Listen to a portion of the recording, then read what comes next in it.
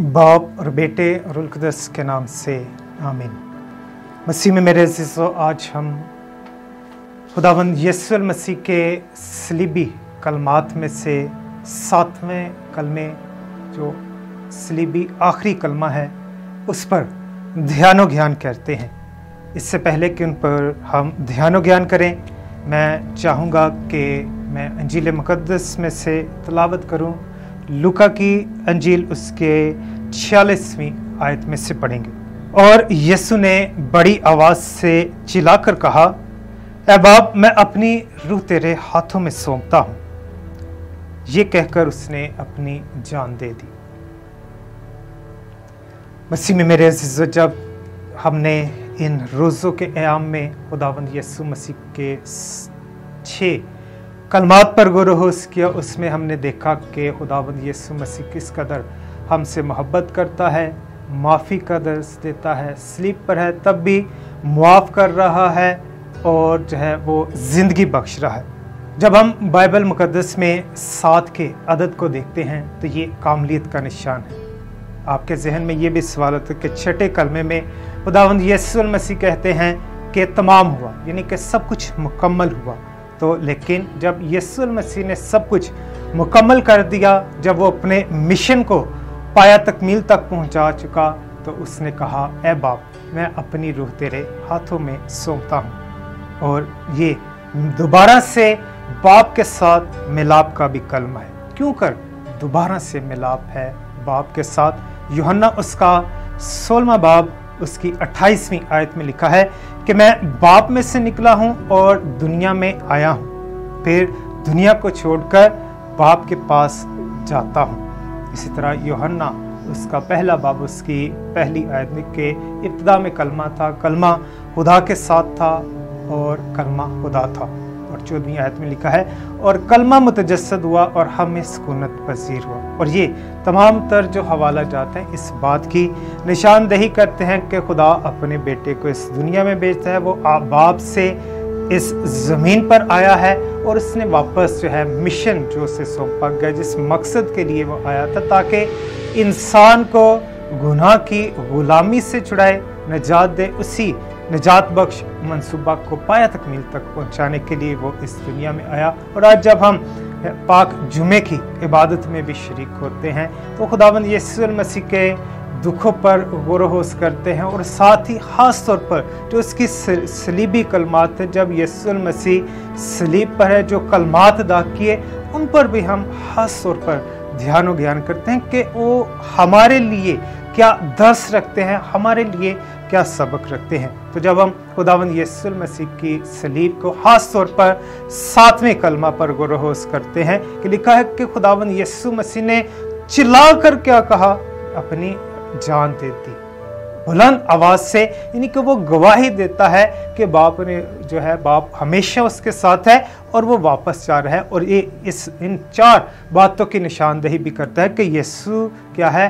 पुर एतमाद है। उसका मुकम्मल भरोसा, ईमान अपने आसमानी बाप पर है। दूसरा कि पेशन गोई जो है वो पूरी होती है। इसी तरह जो है वो अपनी मर्ज़ी से जो है कि मजबूरी के तहत नहीं कि वो बाप ने कहा है तो इसलिए, बल्कि उसकी उसमें मर्ज़ी है। इसीलिए वो क्या करता है कि वो इस मिशन को लेकर आगे बढ़ता है। इसी तरह ये फतेह याबी का भी निशान है कि वो अपने बाप को अपनी रूह क्या करता है, सौंप रहा है। तो इसी तरह जब हम खुदावन यसु मसीह के सलीबी कलमात में से इस कलमा पर गुरहोश करते हैं कि उसने जब ए बाप कहकर पुकारते जिस तरह पहले कलमे पे भी कि ए बाप इनको माफ़ कर, क्योंकि ये नहीं जानते कि क्या करते हैं तो इस सातवें कलमे में भी ए बाप कहकर पुकार रहा है, और इसी तरह बहुत सारे जो हैं, एतराज़ात भी पाए जाते हैं कि जिस तरह जब यीशु कहता है कि मैं और बाप एक हैं तो उस तरह यहूदी जो है, वो एतराज़, वो भी क्या कहते थे? बाप कहते, लेकिन उसका जब यीशु मसीह कहते हैं कि तुम किस वजह से, किस काम की वजह से मुझे संसार करते जब उन्होंने पत्थर उठा ली तो वो कहते, किसी काम की वजह से नहीं, बल्कि तुमने क्या किया है? अपने आप को आसमानी बाप और एक इंसान होते, तूने खुदा बाप के जो है वो अपने आप को बराबर किया है, इस वजह से संसार करता हूँ। तो जब यीशु मसीह कहते हैं कि मैं अपनी रूह तेरे हाथों में सौंपता हूँ। क्यों कर वो सौंपता है? क्योंकि जिस हमने पहले भी हवाला जात के यीशु कहता है कि, मैं बाप से निकला कि वो बाप से निकला है और दोनों एक हैं और योहन्ना के जिल उसके पहले में कि कलमा जो था, वो खुदा के साथ था और खुद खुदा था। तो इसी तरह फिलिपियों, उसका दो बाप उसकी छठी से नौवीं आयत जब पढ़ते हैं तो उसमें छठी आयत में कि वो खुदा की ज़ात में होकर उसने जो है, खुदा के बराबर जो है, अपने आप को नहीं जाना लेकिन उसने गुलाम की सिसर इंसानों के मशाबा हो गया। इंसानी शक्ल में पाया जाकर जो है वो क्या करता है, अपने आप को गुलाम की सूरत, क्योंकि उसने इंसानियत को ओढ़ा है तो इसीलिए जो है ज़रूर था कि जब वो सलीब पर है इससे कलमे के खुदा में ये समझ ए बाप, तूने मुझे क्यों क्योंकि एक इंसान होते हुए उसने इस सफ़र को अकेले पूरा करना था। लेकिन जब वो इस दुनियावी ज़िंदगी के इस सफ़र को, इन लम्हात को इस घड़ी को ख़त्म करने जा रहा है तो फिर से हमें ये यकीन दहानी करवा रहा है कि हमारे जब गुनाह माफ़ हो जाते, जब इंसान इस दुनिया से चला जाता है तो वो अपने आसमानी बाप के पास वापस जाते इसीलिए हमारा मसीहियों का खास कैथलिक जो है, हमारा क्या है, अकीदा है कि हम जब अपने मरहूमिन के लिए दुआ करते हैं मकाशपा की किताब में भी कि जान देने तक वफादार रहे तो मैं तुम्हें ज़िंदगी का ताज अता करूँगा। यहाँ पर भी जब हम इस कलमा पर गोरहोस करते, यीशु भी जान देने तक जो है, वो वफादार रहा और इसीलिए खुदा बाप ने फिलिपियों के हाथ में हम सुनते हैं दूसरे बाप में कि इसीलिए खुदा ने जो है उसे बुलंद रुतबा अता किया, जो हर नाम से क्या है? आला है। हर रुतबे से आला है। क्या आसमान पर, क्या ज़मीन में, क्या आलम असफल पर। तो इसी तरह हमें ये यकीन दहानी मिलती है कि इस ज़िंदगी के बाद की ज़िंदगी, जिस तरह यसु ने अपनी रूह क्या की है, अपने बाप के हाथों में सौंपती रोज़मर्रा ज़िंदगी, जब हम भी इस दुनियावी ज़िंदगी पर सफ़र कर रहे हैं तो हम भी एक मसीही होते हुए अपने आप को ज़मीनी ज़िंदगी से जो है आसमानी ज़िंदगी के लिए तैयार कर रहे हैं, ताकि हम भी जो है आसमानी बाप को जो है जब इस दुनियावी ज़िंदगी से रिखलत कर जाएँ तो उसे रूबरू देखने पाए। जब हम पाक जुमे की गुड फ्राइडे की इबादत में शमूलियत करते हैं। तो यीशु के दुखों, ख़ास तौर पर उसकी सलीबी मौत पर गोरहोस करते हैं। तो जब हम मौत का लफ्ज़ सुनते हैं तो हमारी रूह काम उठती है, या हम डर जाते हैं। हर शख्स मौत से क्या करता है? डरता है। लेकिन जब हम खुदावन यसुल मसीह के नाम पर बपतिस्मा पाए, ज़िंदगी गुजराते, इस दुनियावी ज़िंदगी से रिखलत कर देते तो हम एक नई ज़िंदगी में जो है वो शामिल होते हैं कि मौत हमें क्या करती है? आसमानी बाप के साथ मिलाती है। फिर से हमारा भी मिलाप क्या होता है? आसमानी बाप के साथ मिलाप होता है। जिस उसी तरह जिस तरह अस्तफियानुस जो है, वो भी कहता है कि, ए खुदावंद यसु मसीह, मेरी रूह को क्या कर, कबूल कर। जब उसे संसार किया जा रहा था तो वो क्या कहते हैं, अपनी रूह जो है, वो खुदावन यसु मसीह के हजूर पेश करता है कि मेरी रूह को क्या कर, कबूल कर। तो इसी तरह छठे कलमे में हम देखते हैं कि खुदा जो है खुदावन यसु मसीह इंसानों के साथ जो है, वहाँ तरह उन्हें बता रहे हैं कि तमाम हुआ कि उस मिशन में शामिल कर रहा है और इसी तरह जो है, सातवें कलमे में वो अपने बाप से जो है हम कलाम है कि वो जो है इस सारी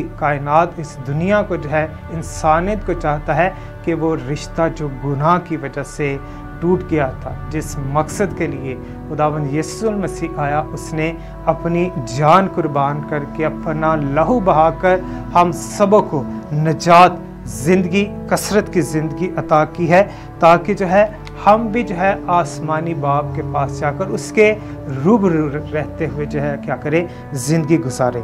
जब हम पाक जुमा की रूहानियत को भी देखते हैं यसु के दुखों पर भी गौरहोश करते हैं, उसका निजात बख्श, मंसूबा, जब उसने अपनी रूह बाप के हाथों में सौंप दी है तो उसी के साथ पाकलाम में लिखा हुआ है कि, और हैकल का पर्दा जो है वो दरमियान ऊपर से नीचे तक फट जाता है। जो इस बात की अलामत है कि जिसका काहिन जो है वो साल में एक बार जो है उस जगह पर जाता था, लेकिन जब हैकल का पर्दा जो है वो फट गया है तो वो उस दूरी को जो गुनाह की वजह से जो है इस दुनिया में आ गई थी, खुदा और इंसान दूर हो चुके थे। वो इस बात की लामत है कि जिस तरह यसुल मसीह जो है वो सरदार काहन और बर्रा दोनों का क्या करते हैं? काम सर अंजाम देते हैं और इस तरह यहूदी और जो गैर अकवाम थी, उनके दरमियान जो हाल दीवार थी, वो क्या हो जाती है? गिर जाती है। जब हम आज इसी कलमा को अपनी ज़िंदगी में देखते हैं कि ए बाप, मैं अपनी रू तेरे हाथों में सौंपता हूँ। हमने भी मसीह में इस्तबाग पाया है। मसीह के पैरोकार हैं और जिस तरह मुकदस पौलुस भी कहता है कि, बस तुम्हारा मिजाज वही हो जो मसीह यसु का था।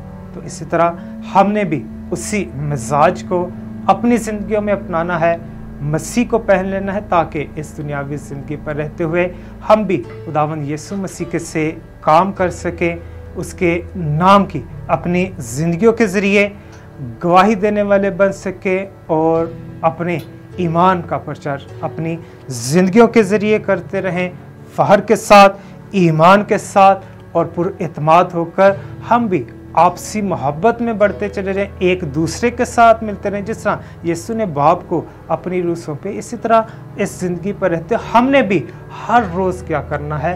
अपने आप को तैयार करना है। उसी तरह जिस तरह यहूदी कौम जो थी, यहूदी माएँ क्या करती थी? अपने बच्चों को ये दुआ ज़बूर में, जिस तरह लिखा है कि, ए खुदावन मैं अपनी रू तेरे हाथों में सोने से पहले ये दुआ पढ़ के सोती तो हम भी जो है, रोज़मर्रा ज़िंदगी में अपने आप को इस मोहब्बत के लिए, जो खुदा ने अपने बेटे के ज़रिए, उसकी कुर्बानी के ज़रिए हम पर आशिका रखी है, सबसे पहले अपनी ज़िंदगी में लें और इसी मोहब्बत को दूसरों तक लेकर जाने वाले बन सके।